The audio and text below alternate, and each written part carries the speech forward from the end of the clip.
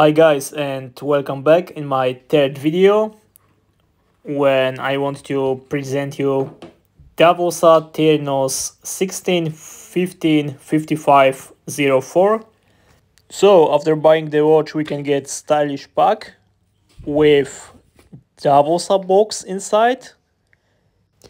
You get also a small card where you can see the serial number and the price and material which is made the watch and finally after opening the box we get our watch.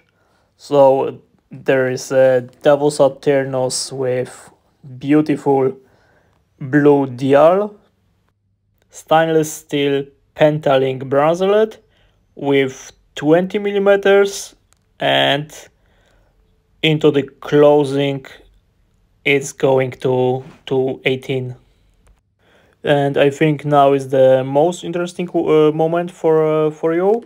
So the specification time we've got 40 millimeters uh, case with 12 and half thickness and around 176 grams weight. So I would say it's it's perfect watch. For me between 150 and 200 gram it's perfect watch to, to wearing every day. Mm, what is also worth to say that in that price we get a scrolled crown with Davosa logo like you can see on the video. And L to L for this watch is 48 millimeter so it's make it fit perfectly on smaller wrist like 16 six and a half centimeter so it make it quite um, quite comfortable for people with smaller smaller hand. And bracelet closing is butterfly close the watch is new so it's still tight but i think it shouldn't be problem with opening by itself or just losing it because uh, it, it wasn't too too tight Okay, it's time to small presentation uh, about a ceramic bezel with 120 clicks. And like you can hear it's working perfectly with beautiful sound. With screw crown it's also any problems, it's growing out uh, smooth, it's moving, uh, moving uh, also smooth. And it shouldn't be problem with set up the time or just changing a date even if you have a bigger finger you shouldn't have any problem with with it. Uh, now uh, you can you can see how the watch look on the wrist.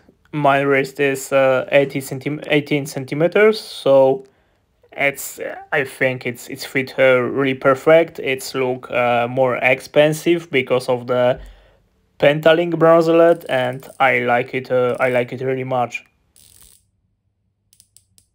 now just few words about movement. Movement is DEV3021.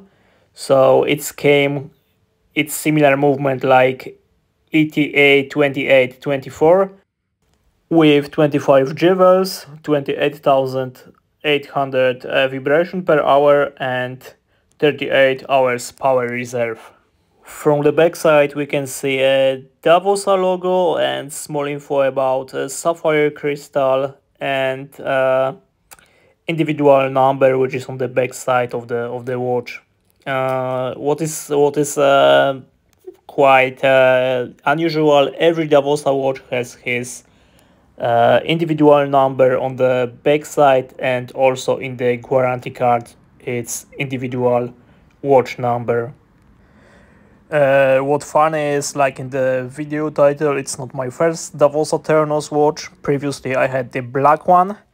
This one, I sold it and I just regret. And it's the exactly the reason why I bought the blue one. I wanted to try something new, but uh, I was looking for a for a ceramic bezel on uh, on sapphire glass.